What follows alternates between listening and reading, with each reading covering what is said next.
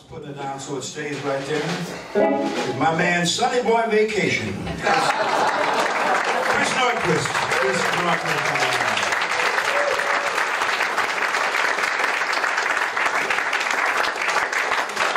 On the bass, uh, our great friend from uh, Vancouver Island, Nanaimo, BC. This is Rob Becker. Rob Becker.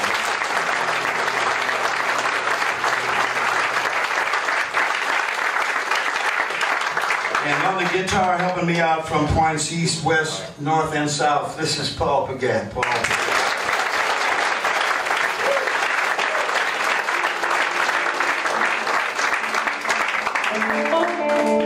This, uh, this next tune uh, is one that uh, I first heard on an album by uh, the great uh, North Carolina guitar picker Doc Watson, a 1966 album called Southbound. Fell in love with this tune and decided to record it uh, many, many years later. And uh, had to find out the provenance of the tune, where it came from, and I was surprised to find that this song was actually written by country crooner Mel Tillis.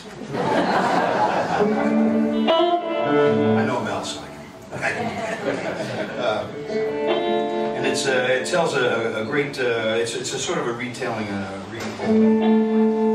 framing of a great American folk tale, a song about independence and the strength of the individual. It's called Walk On Boy, it goes. I was born morning, the rain pouring down.